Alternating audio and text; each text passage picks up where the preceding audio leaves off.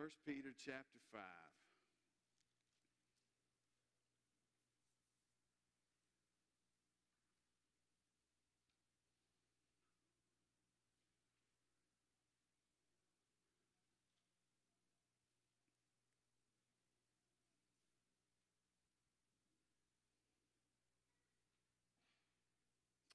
So, ready to start? All right.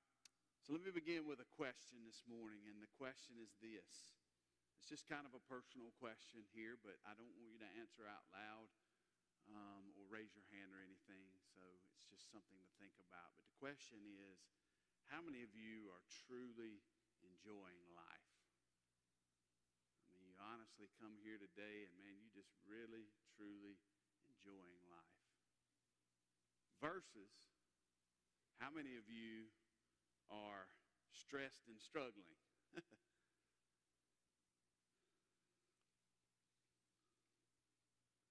doesn't seem like that, and I do emphasize seem, it doesn't seem like that the majority of believers, or at least the believers that I'm around today, uh, and I'm not saying this any critical of the church, but I, you know, I, I interact with believers other than just those people at Olivet. But, you know, I've been a part of pastoral ministry now for 15 years, and it just doesn't seem like the majority of believers are enjoying life. Uh, matter of fact, it seems that most are stressed and, and stressed about everything uh, money, marriage, children, job, self, you name it. Uh, just a lot of stress, a lot of frustration going on. And even as I say that, I'm not saying that as something critical, but uh, it's just kind of something that I've noticed over the years. But what I've also noticed over the years as God has dealt with me, and I want you to understand that, that as God was dealt with me and has shown me a lot of what is below the surface with this stress and this frustration that I deal with, I've started to see and pay attention and realize it's in everybody else as well. So when you think about what lies beneath the surface of stress and frustration, I truly believe that what's happening, and people can call it whatever they want, but I truly believe what I've discovered is that a lot of people, and I know I've struggled with it and still struggle with it, is an identity crisis. Anybody ever had one of those? You know, just really struggling with who am I? You know? What am I here for? Am I really making a difference? Is my life really counting and mattering for something? You find Uh, that all of us long for significance in the world, right? We want to matter. We want to know that our life has counted for something. But Satan, on the other hand, from the beginning has longed to deceive us and to get us to embrace an identity other than the one that God gave us or has given us, right? Think about Adam and Eve. God created them to enjoy him and to enjoy his creation, to walk with him. And so the enemy comes along and he convinces Adam and he convinces Eve that uh, there's something better. There's something better than what you were created to enjoy. There's something outside of God that you need to truly experience life and happiness. I don't know about you, but I've bought that lie, hook, line, and singer, sinker, and really struggled because of it. But even deeper, even beneath this identity crisis, what I found is that there's another struggle going on, and that brings us to what we've been talking about for the last couple of months. So, even beneath the identity crisis, there's another struggle going on between two voices that we're hearing. One is the voice of God, which is good, and the other is the voice of evil, which is the enemy. And so, underneath that identity crisis, there's a struggle of voices, these two voices that are speaking into our lives. And so, the truth is, we're either listening to and believing one or the other of those voices. So, what I find, even beneath the identity crisis, when you get down to the nitty gritty bottom of it all, what you find is that all of us have a worship problem who we listening to and who we're ultimately hearing, believing, bowing down to, and accepting what they say.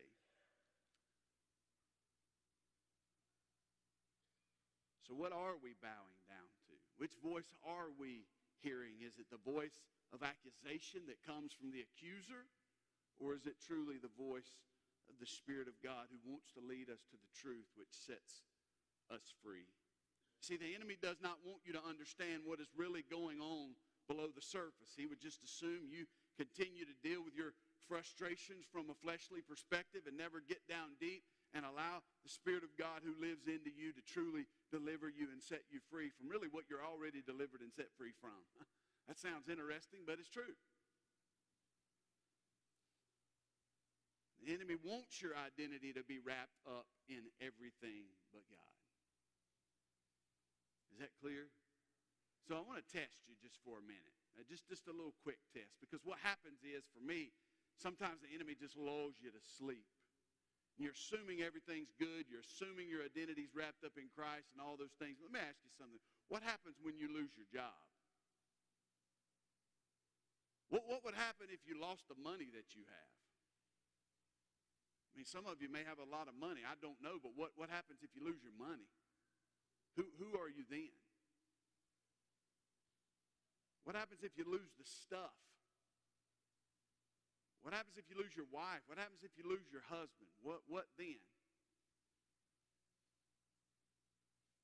Young people,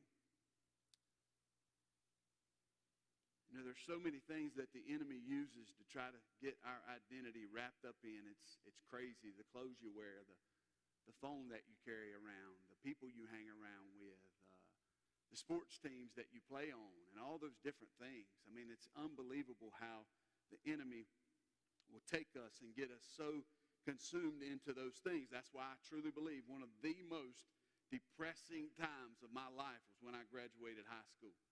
You would think it would have been the happiest time, but it was really the most depressing time because everything that my identity had been wrapped up in for all those years of high school, guess what? It's now over. and see, that's what can happen to you if you're not careful, right? And then I got into ministry, and then I started wrapping all my identity up and standing behind the pulpit and, and trying to see how many people I could get to come hear me preach.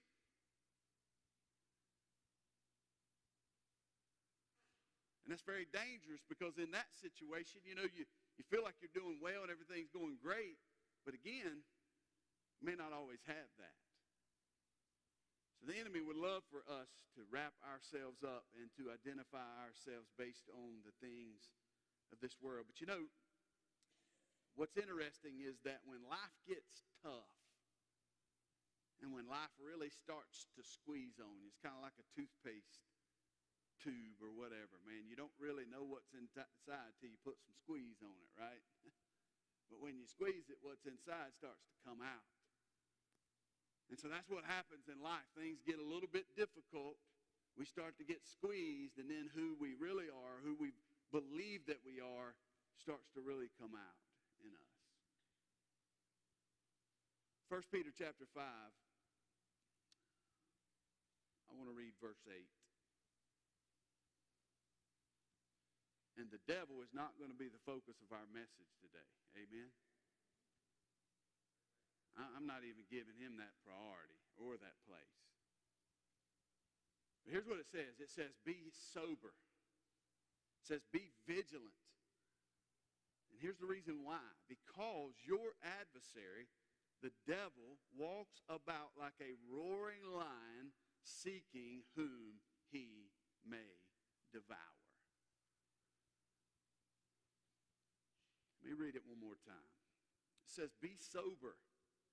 Be vigilant because your adversary, the devil, walks about like a roaring lion seeking whom he may devour.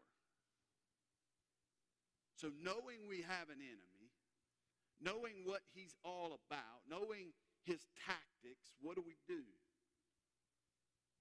Well, Peter, led by the Holy Spirit, calls for balance in our lives.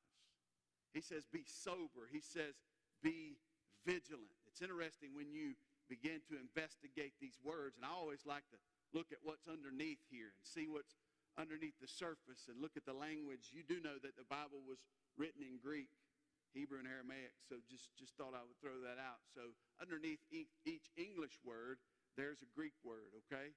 And so as I look at these words, here's what I find. Number one, I look at the word sober, and according to Thayer's Greek dictionary, it means in a spiritual way to be calm and collected in spirit. Now, for us in a physical way, we just think it means don't be drunk, right?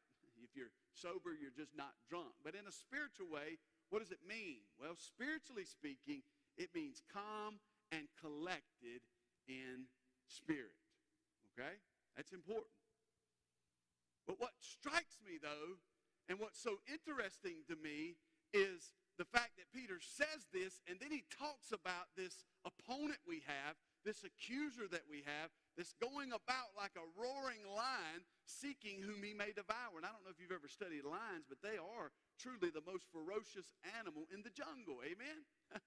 I mean, that's why they're referred to as the king of the jungle. So it's interesting that he tells me to be calm and collected in spirit when he's also telling me I've got a, a roaring lion that's trying to devour me. Are, are you serious, Peter? Did you really mean that? Calm, collected? Really? So you, you know that you're in the jungle and there's a lion that's after you, and uh, the last thing I'm probably going to be is calm and collected. What about you?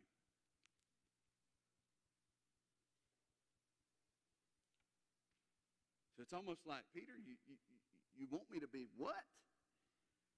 You want me to be sober, calm, collected in spirit. But then he uses another word. He says be sober, but he also says be vigilant. Be vigilant. So according to Thayer's dictionary here, it means to be attentive.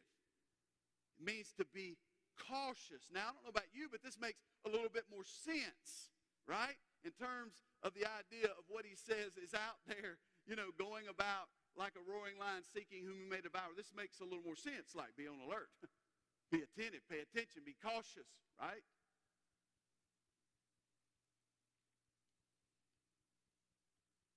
But what we've got to remember this morning is that it's not either or, it's both.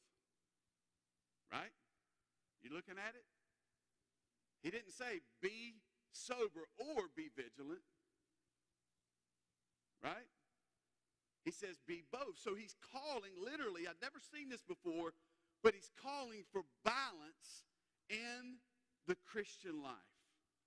It's odd because it would be like me walking up to one of you right now and saying, like to you, Dalton, it would, like, it, it would be like me walking up to you or one of your coaches coming up to you from football and saying, Dalton, I want you to be fast and slow.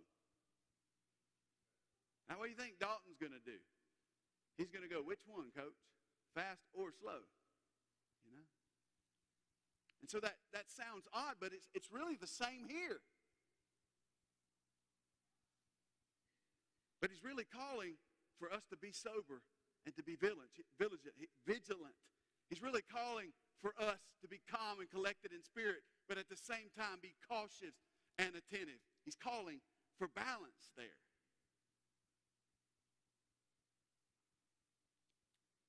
So, what's the purpose of this balance? Is it just so that we can be happy? I mean, is that really the point? Is just, hey, we need to live a balanced life between being calm and cool versus being careful, cautious, and attentive just so we can be happy. Is that it? It's not what the text says. The text says, be sober, be vigilant, because your adversary, ladies and gentlemen, you have an opponent this was a term used for one uh, that was against you in a particular lawsuit, one who opposes you, okay? You have an adversary, the devil, okay, who walks about like a roaring lion seeking whom he may devour. Now, I grew up with an older sister, and I want you to understand that there were a lot of times when I aggravated her and she aggravated me. She would probably argue that it's probably more me aggravating her than anything. But, you know, what I've learned is the enemy is not like a little aggravating brother who just wants to pester to get on your nerves because the little aggravating brother really loves his sister, you know? Right? That's the truth. I mean, my kids are always getting on each other's nerves, but I know they love each other. I see it all the time.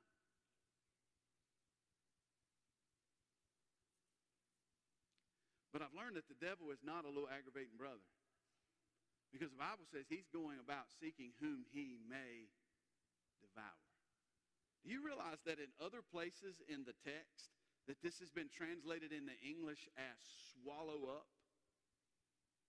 As to literally like swallow something up, you know? So he's not out here just to aggravate you and to make life difficult. Understand, as Jesus said, the thief has come to steal, to kill, and to destroy, ladies and gentlemen. He's not playing games here. He's not going down without a fight. All right? He's going to just, man, he's going to flail away as long as he has opportunity to do it. But we have an opponent he is known as the devil. And when you look under that English word, you find the Greek word diabolos. And it means accuser. Because the enemy is one who loves to accusations about you.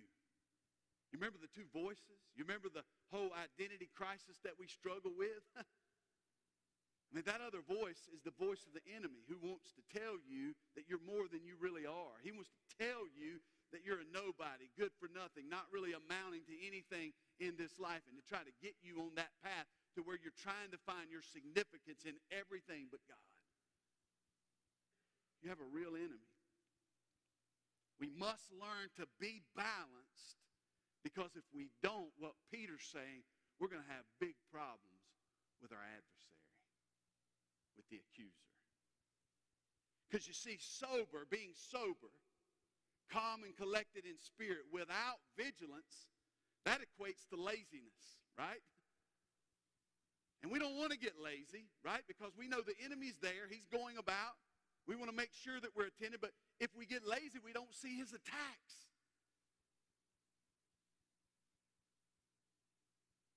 And before you know it, hey, you guys know this, right? We can be so easy going before you know it, man, we have gone way, way farther than we ever intended to go with something. On the other hand, vigilance without being sober or calm and collected in spirit equates to stress and frustration, right? And it causes us not to really enjoy life. So that's why I wanted you to think about it in the beginning. Am I really enjoying life? I mean, is this journey that I'm, I'm really enjoying it? Because listen, if I'm not, I'm missing something. Because Jesus said, even though the thief comes to steal, kill, and destroy, I have come that you might have life and have it more abundantly. That's what he said.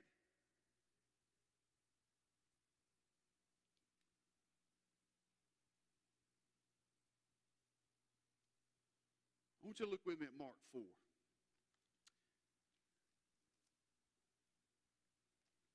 Mark 4, verse 35. This event in the life of Christ, to me, embodies the balanced life that Peter is talking about. Between being calm and collected in spirit, while at the same time being cautious and attentive to what's going on around you. So, Mark chapter 4, verse 35. On the same day when evening had come, he, that is Jesus, said to them, them is the disciples. So Jesus speaking to the disciples, he says to them, let us cross over to the other side. In other words, hey guys, we're going to the other side. That's important. Verse 36, now when they had left the multitude, they took him along in the boat as he was, and other little boats were also with him. And a great windstorm arose, and the waves beat into the boat so that it was already filling. But he was in the stern, asleep on a pillow, and they awoke him and said to him, Teacher, do you not care that we are a perishing? Now, what's funny about that is those who are, let me be careful, those who are flipping out, they're going to the one who's calm and collected in spirit because they've misread the whole thing and they acting as if he don't care. You think they misunderstood that or not? And I'm going to tell you something, guys. Here's what I believe. I believe a balanced life. I'm serious. We're going to look like to the world and other religious people that we don't care.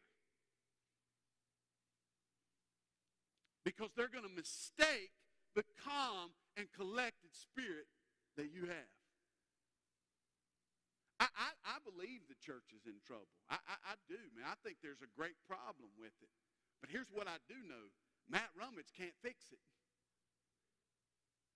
I mean, I've been at this for 15 years, and you better believe I've given 100, 110% to try to fix it. But I've come to realization that the only one that can fix the problems that we as the church have is the one who has built it and is building it, and that's Jesus himself.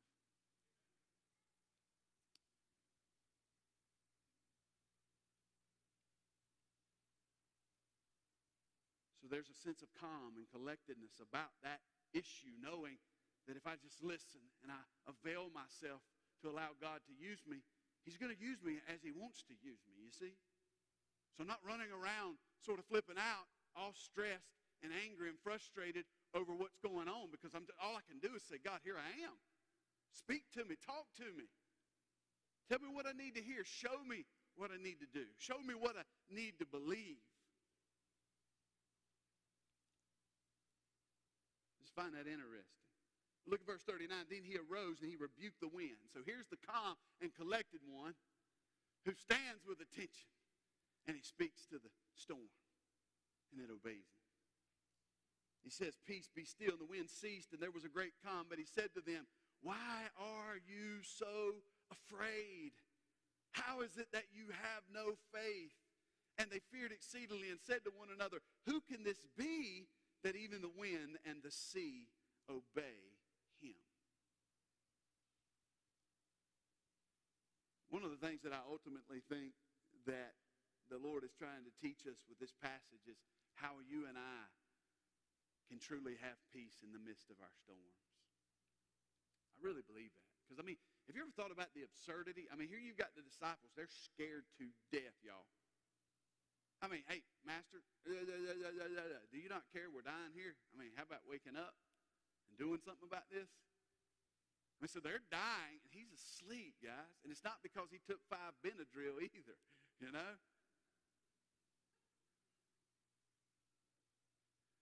Now, I don't know about you, but when I look at this story, I definitely see myself more in the disciples, right? Anybody with me?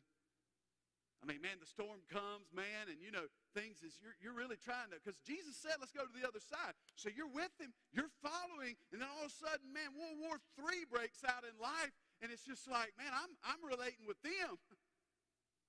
Because I'm all in a tizzy, man. I'm flipping out, man. I'm, I'm like, whoa, here. But Jesus is asleep. I want to remind you of something. You and I are not disciples of the disciples. We're disciples of Jesus.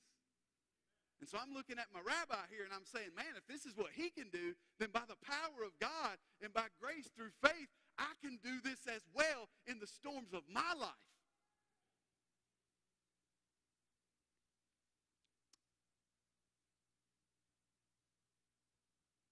But even though I see myself more in the disciples, things are changing. Things are changing. And I say amen to that. You ever wonder why he was so relaxed? You ever wonder why? I tell you why I believe Jesus was so relaxed because he knew who his daddy was. He knew who the father was. And if the father was saying, take them boys to the other side, guess what? That's what's going to happen. Because if Jesus is making a promise, it's going to be fulfilled.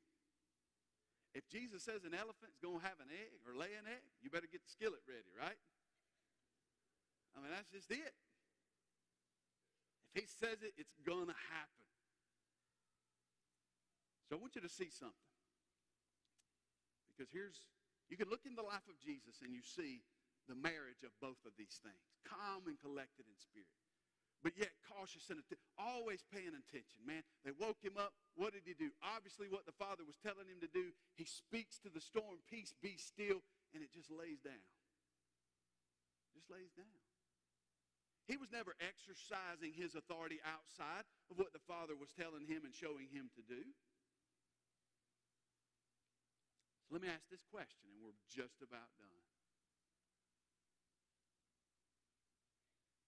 What was it that the disciples needed to have done to calm down? I mean, really. What could they have done to relax and enjoy the wonderful boat ride that they were experiencing. What could they have done?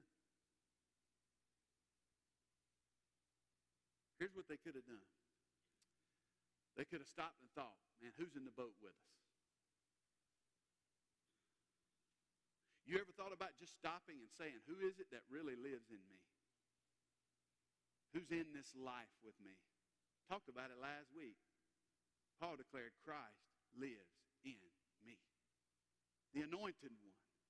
With all of the burden removing, yoke destroying power of God, every bit of that that he has is right there inside of the believer. So they could have just stopped and said, man, guys, hey, remember, Son of God's with us, man. About all we've seen him do. Son of God's with us. But not only that, here's, here's, here's, here's a good point. He'd already told them, hey guys, we're going to the other side. So not only could they have just stopped and thought, well, who's in the boat with us? They could have just stopped and thought, well, man, what did he, what did he tell us?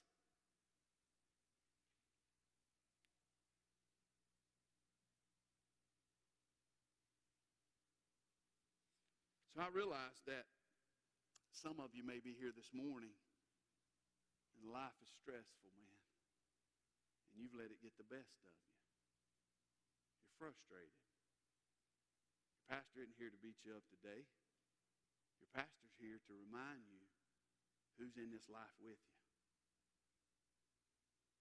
Your pastor's here to remind you of the promises of God. Because the only way you're going to ever balance this thing out is to embrace him and to listen to what he's saying and believe it. Don't have anything other to tell you than that. But that'll be the only way that you're able to balance it out. So herein lies the key for you and I to get balanced, to be sober and to be vigilant.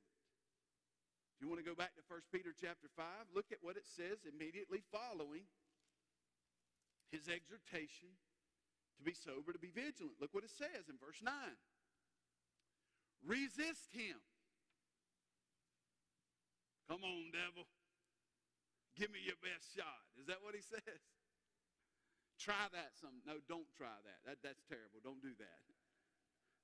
Because it'd be like me getting in the ring with, uh, you know, Andre the Giant or something. I mean, just don't try that, okay?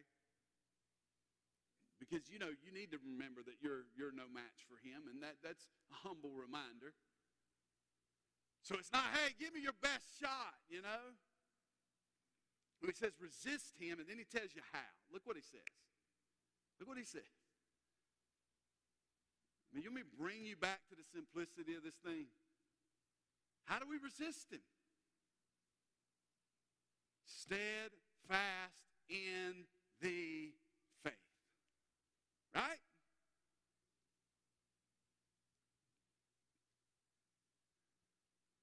Not, hey, Matt, try a little bit harder next time, you know? Don't be so gullible next time, Matt. Don't, don't buy into his junk. It's not what he says. He says resist him, and we do so by being steadfast in the faith. That's interesting. Peter writing to persecuted believers, he says, knowing that the same sufferings are experienced by your brotherhood in the world. So there's no doubt that he's writing to suffering believers who are a little bit stressed. They're a little bit frustrated. And the last thing they are is calm and collected in spirit because all you know what is breaking loose around them. But Peter knows and he understands because of the Holy Spirit that they have an adversary, that they have an accuser who is there saying, Where's your God at now? I mean, look at what, what, look at what your faith has got you now. Or on the other hand, look at what you're going through.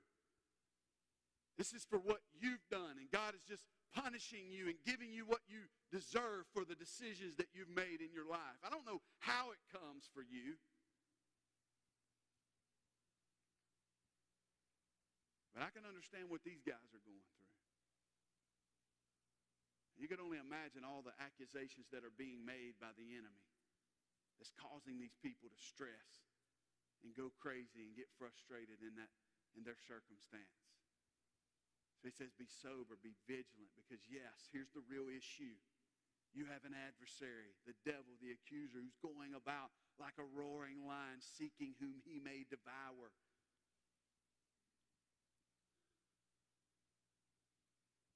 So, what Peter does in verse 9 is he points us all back to what we've been talking about for a couple months now the importance of listening to God.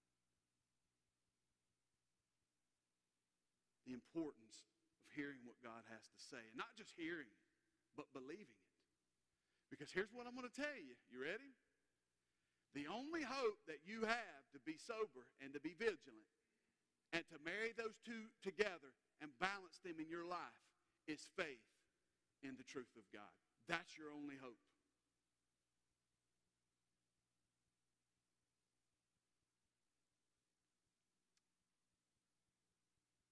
The accuser is no one to fear, ladies and gentlemen. God says twice that the works of the devil have been defeated. He says it in Hebrews and he says it in the book of First John. And the only thing that he could possibly use against us, Jesus nailed to the cross at Calvary, according to Colossians chapter 2. The only thing he had was the handwritings of the requirements that was against you. Jesus came, he fulfilled that, he lived the life you couldn't live, and then he died the death that you deserve for messing it all up and for continuing to mess it up. So, ladies and gentlemen, what does he really have to use against you? He is the father of lies. He is the master of deceit.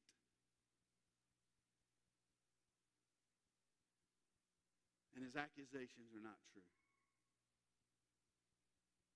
His accusations are not the way God sees it. It's fitting that we had a baptism today. And I certainly didn't plan this around it, but baptism is a beautiful illustration of who we are as believers. It's a beautiful illustration of who I am and who I forever will be. I will be always be one who has been crucified with Christ, buried with him, but also raised with him to live a new life as a new creation, filled with the anointed one. All of his power through the Holy Spirit. That's who I am.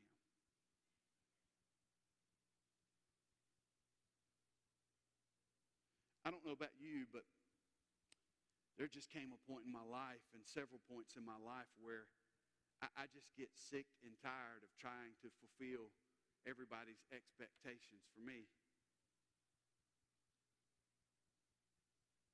You know? I mean, the world will beat you to death with this. It's going to beat you to death with it. Because once you get here, it's always going to be, well, I need to get here. And once you get there, then it's, I'm going to need to get here.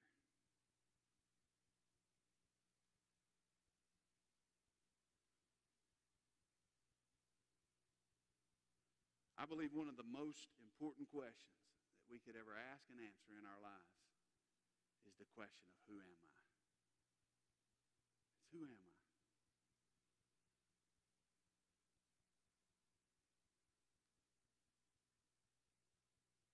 There's some of you here today and you are literally allowing the enemy to devour your life. And because he's devouring you with his lies and with his accusations, in other words, you refuse to listen to who God says that you are. Because God says you're significant. God says you're his child. You're his beloved. He says that you're his, you're reconciled, you're all of those things. You matter this world you're, you have the potential to be a world changer. He says all, but, but, but there's some of you, you absolutely refuse to listen and believe what he's saying about who you are.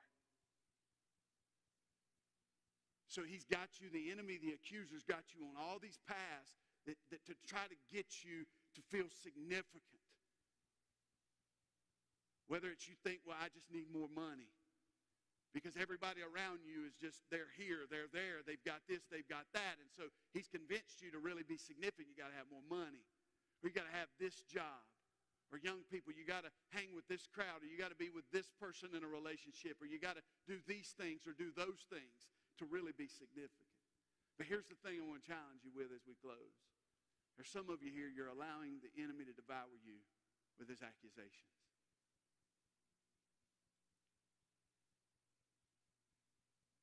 And because he's devouring you, he's devouring everybody that's around you.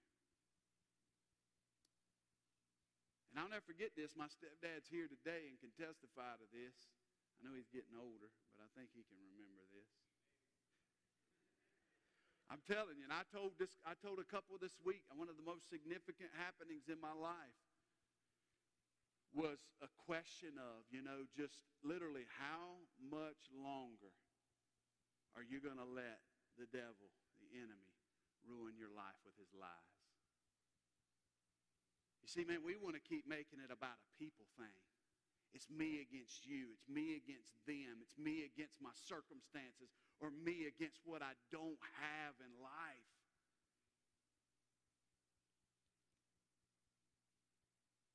But I'm asking you this morning, are there some people here that are just ready to draw a line in the sand. And I'm not asking you to, to make any commitments in and of your own flesh to do better, to try harder, or any of that. But I'm just wondering if anybody just needs to draw a line and say, I'm sick and tired of the enemy having his way with me and saying these things and me believing it and giving into it and allowing him to stress me out, frustrate me, and ruin me and ruin the people around me. Is anybody here that's just ready to draw a line in the sand? Anybody?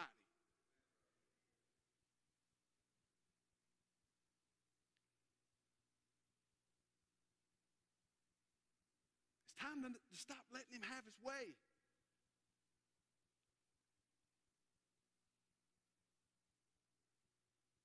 You see, it's interesting that he says he's a roaring lion who's going about seeking whom he may devour because really the only time that the lion roars when you study a lion's life is after he's already defeated his prey and won it. So I don't know if Peter's really just telling us how stupid the enemy is or what. but honestly, man, when you're close to the Father and you're in tune with his voice, the enemy stands out like a sore thumb. He stands out like a deer hunter who's walking through the woods with his bright orange on.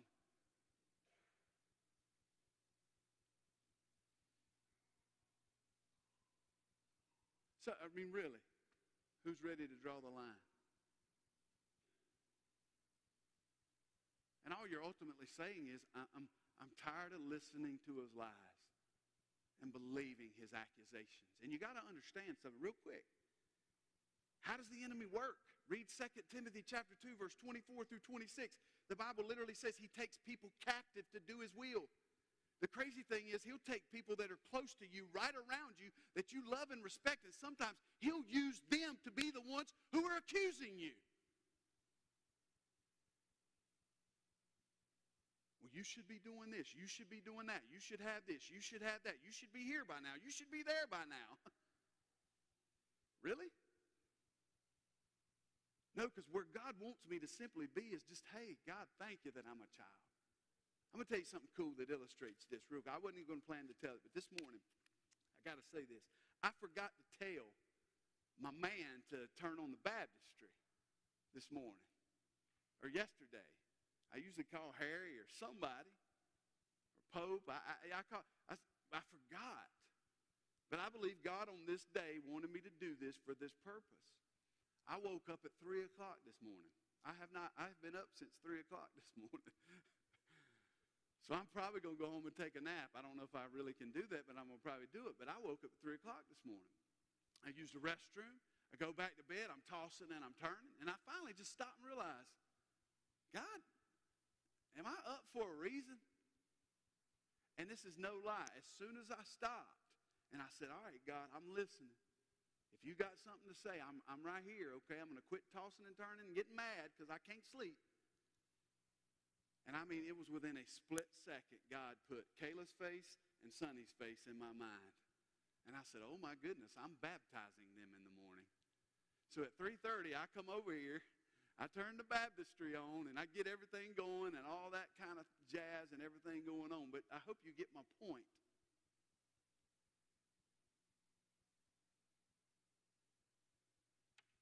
It's amazing how God. I'm telling you guys, I'm not going to complicate this thing for you. I refuse to. How do you resist it? Steadfast in the faith. Hearing and believing. You ready to draw the line or not? So I don't need you to come forward to solidify any success to this message that I've shared. God's going to use it however. But I am going to do something I've never done. Well, I haven't done it in a long time. I'm going to invite you to publicly stand and say, look, I'm ready to draw the line. If you don't stand and if you don't come to this altar, doesn't mean you're not serious. And I'm not going there with you guys. I'm not doing it. But I'm just inviting you to draw the line. I'm sick and tired of listening to your junk enemy. I'm sick and tired of listening to your accusations. I'm not going to believe them anymore. It's time to listen to the voice of truth, the voice that desires to set me free. It's the difference in your life being balanced. It's the difference in you bringing life or death to the people that's around you. That's how serious this is. I don't know about you, but I long for a balanced life. But I want you to understand the only place you're going to find it is in Jesus and in His Word. Let's pray. Father, thank you. Thank you for the invitation as your children to hear you, to hear your voice, the voice of truth, the truth that sets us free. Thank you, Father for not only the opportunity to believe it or hear it, but the opportunity by grace to claim it as ours and to believe it and receive the truth that you have to say about us. And God, if nothing else, Lord, I stand before this group of individuals today as your child, as your beloved child, filled with your life, with all of your power, even the power that raised the dead dwells in me. God, I have no excuse. Lord, may we be your sons and daughters who are willing to say today, God, I'm listening. Speak. Show me. Help me believe. In Jesus' name I pray. Amen. As we're still standing,